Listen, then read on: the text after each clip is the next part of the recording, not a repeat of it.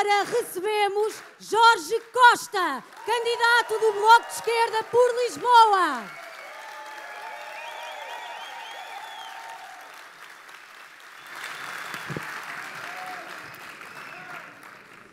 Boa tarde, boa tarde, camaradas. Começamos com muito ânimo com a presença da Isabel Rato, quarteto, eh, e eu quero começar a minha intervenção por falar daqueles momentos nesta campanha em que sentimos o nosso coração apertado. Sentimos o nosso coração apertado, incrédulos, com a presença cotidiana do Holocausto de Gaza nas nossas vidas. Um genocídio documentado dia a dia, ou como hoje se diz, em tempo real.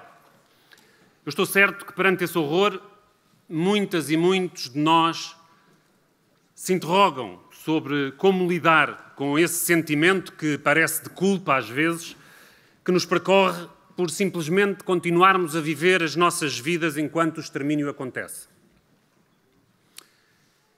Já voltarei à Palestina porque penso que podemos encontrar a resposta sobre isto, sobre como lidar com este sentimento, nos dias desta campanha. Há três dias, no último dia de fevereiro, passaram 25 anos sobre a fundação do Bloco de Esquerda. Em circunstâncias normais, seria a ocasião para mais do que um brinde, mas a corrida da campanha eleitoral atirou a comemoração para o 30 aniversário.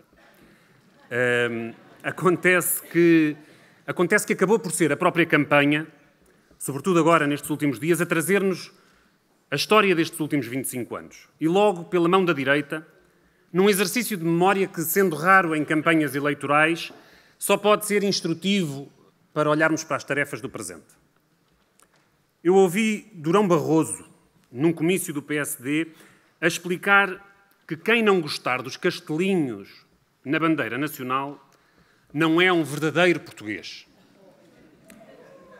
E então vamos dizer mais uma vez a Durão Barroso: não devia falar em público e muito menos sobre a nossa bandeira porque foi Durão Barroso que a sujou, e sujou-a de sangue inocente quando era Primeiro-Ministro de Portugal.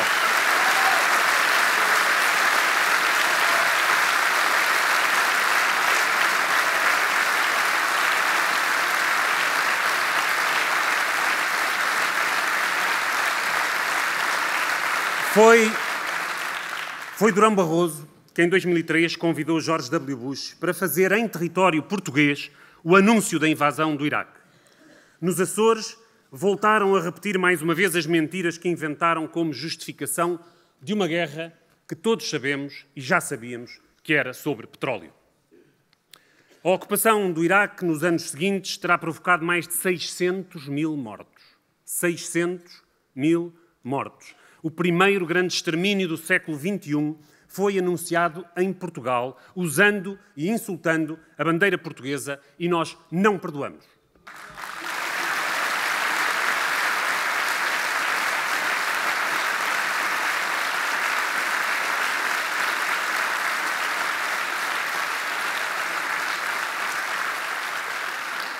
Temos ouvido falar, ao longo da campanha, da falta que faz a política internacional nos debates. Pois bem, ao passar o microfone ao único governante português do período democrático diretamente envolvido num crime de guerra, Luís Montenegro apresentou um autêntico tratado de política externa. Naqueles anos, de 2002 e 2003, muitos dos que estão hoje nesta sala envolveram-se no movimento pela paz. Foram acusados de serem amigos do eixo do mal. Ao longo daqueles anos, prosseguimos. Não nos assustamos com as acusações nem, sucumbimos ao sentimento de impotência perante o horror total daqueles acontecimentos. O Bloco era ainda uma criança, nem quatro anos, mas foi buscar a resposta a esta política do extermínio a uma das suas heranças mais preciosas, a luta contra a guerra colonial. Vemos, ouvimos e lemos, não podemos ignorar.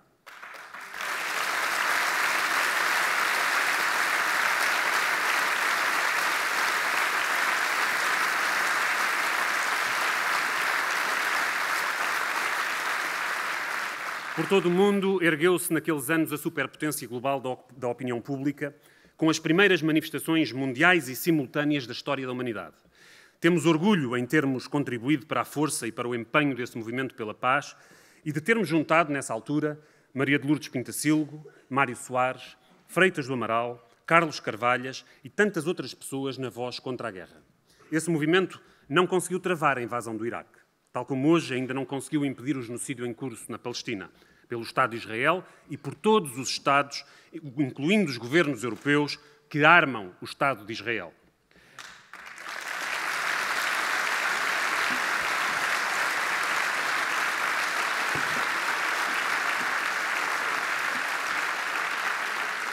Mas demos então e daremos sempre a mesma resposta, porque a grande lição, se os outros calam, cantemos nós, já vinha de 1999, o ano em que nascemos.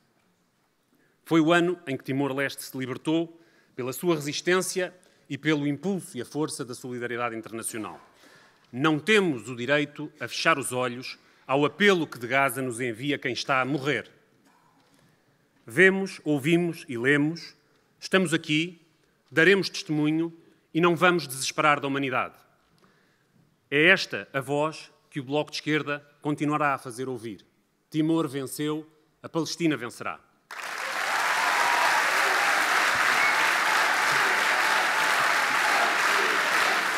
Palestina vencerá, Palestina vencerá, Palestina vencerá, Palestina vencerá.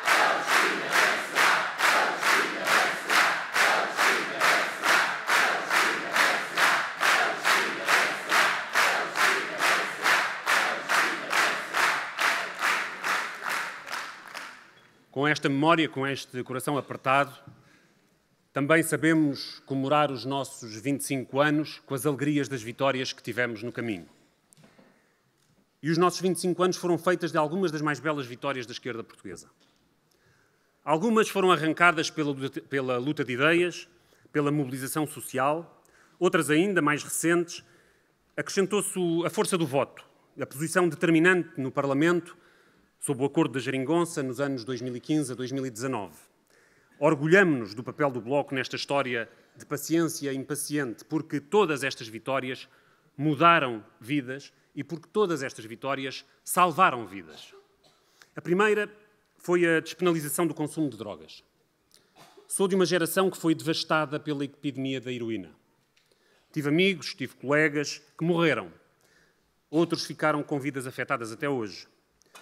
Na Europa, Portugal era, há 20 anos, um caso extremo dessa devastação. Há 20 anos, isso começou a mudar, quando o Bloco quebrou esse tabu no Parlamento e contribuiu para que Portugal ultrapassasse esse flagelo pela descriminalização do consumo de drogas.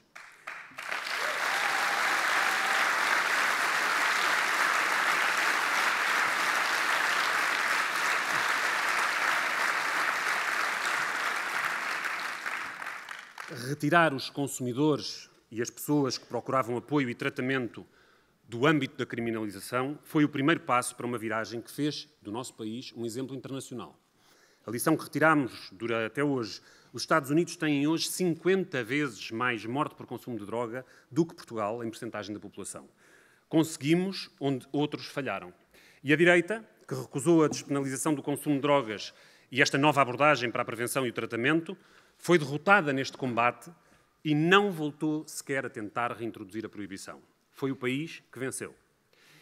Outra vitória que também mudou vidas e que também salvou vidas foi a vitória da igualdade e do respeito. Quando hoje vemos milhares de jovens por todo o país que afirmam nas ruas, nas marchas do orgulho LGBT, a sua vida, a sua alegria e a sua liberdade, sabemos de onde isso vem. Ela também é parte da história do Bloco. Primeiro sozinhos, depois em alianças com outros partidos, mudámos o estatuto legal das pessoas LGBT afirmámos a igualdade no acesso ao casamento, pusemos fim à discriminação na adoção por casais LGBT. E o que trouxemos.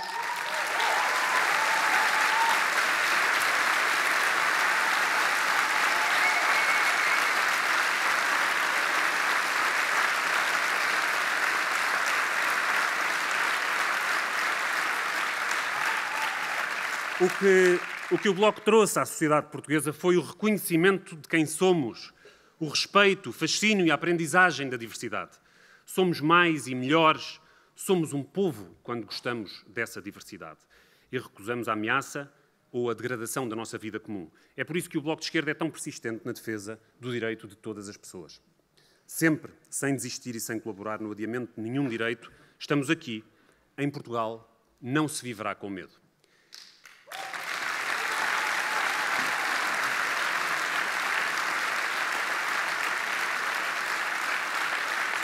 Falo, falo, ainda, falo ainda da vitória histórica da luta das mulheres pelo direito ao aborto. É uma luta muito longa e que só triunfou demasiado tarde para muitas mulheres que foram vítimas no aborto clandestino. É uma vitória completa porque este avanço civilizacional da despenalização é tão evidente e tão indesmentível que não há no Parlamento português hoje um único partido, nenhum, que se atreva a propor o regresso à proibição do aborto e da perseguição às mulheres. Sabemos que o fundamentalismo se movimenta e que instrumentaliza a figura da objeção de consciência para eh, bloquear, para dificultar o acesso a este direito através da, obstrução ilegal, aliás, à prestação destes cuidados no SNS. Nestes 25 anos aprendemos que nenhuma vitória é garantida para sempre e que cada direito conquistado tem que ser cuidado e garantido ou não tardará a ser ameaçado. E o acesso ao aborto é uma vitória e um combate sempre em aberto.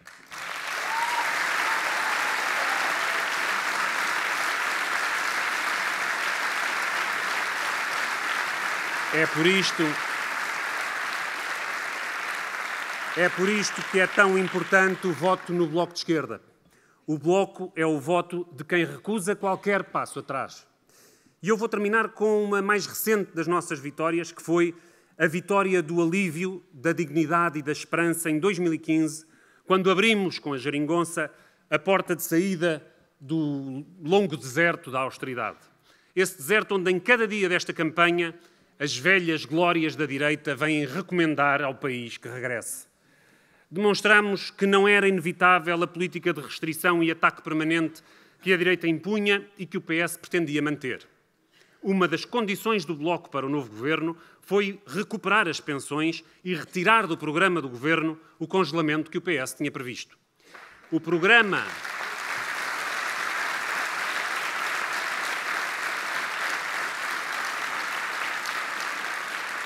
O programa desse governo em 2015 não foi o programa do Partido Socialista, que previa também a facilitação do despedimento e a menor a diminuição da contribuição patronal para a Segurança Social. O programa desse governo foi imposto ao PS. E o que dele ficou foram mesmo as vitórias da esquerda, as vitórias do Bloco de Esquerda.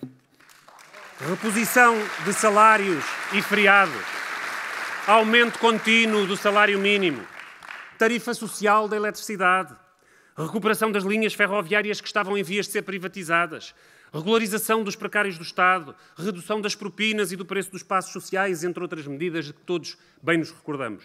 Orgulhamos-nos de cada um destes combates destes 25 anos. Dos que vencemos e, digo-vos mais, dos que nos dá força esta luta para ainda vencer. Essa experiência emerge da nossa campanha e é excelente para o país esta oportunidade que a direita nos oferece para um bom exercício de memória. Eles são o passado que não queremos repetir. O ressentimento na voz dos velhos chefes que desfilam ao lado de Luís Montenegro só é comparável aos esgares do ódio que a extrema-direita exibe e que traz à política. Vamos vencê-los com o programa da esquerda. Paz, pão, habitação, saúde, educação. Depois de março,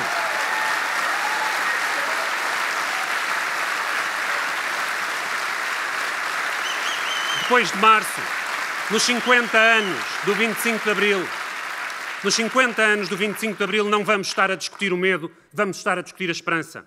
Essa esperança, essa alegria, essa democracia que fazem forte a esquerda nestes dias de guerra e de ameaças. Quem quer a melhor razão para votar no Bloco de Esquerda, aqui a tem, já ouviu há pouco. Paz, pão, habitação, saúde, educação.